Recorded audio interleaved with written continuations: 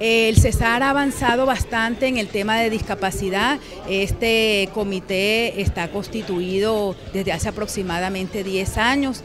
Eh, se ha venido fortaleciendo a través de la normatividad de discapacidad impartida por el gobierno nacional y estamos llegando a todo el departamento haciendo caracterización de la población discapacitada y a través de, un programa comunitario de discapacidad eh, en todos los municipios del departamento.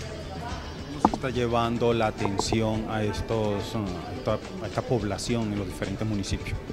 Eh, lo que buscamos es facilitar el acceso a la población discapacitada, no solo a los servicios de salud, sino a todo tipo de servicios. Por ser una población eh, vulnerable, es fácil que eh, lo que buscamos es que todos nos comprometamos, todas las instancias, instituciones sociales, educativas, políticas, nos comprometamos con la población con discapacidad.